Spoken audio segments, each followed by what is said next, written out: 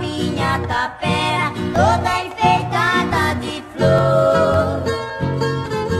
A rosa me faz lembrar do Porto Paranaguá, aquele ninho de amor. Na igreja do Rocio, onde um romeiro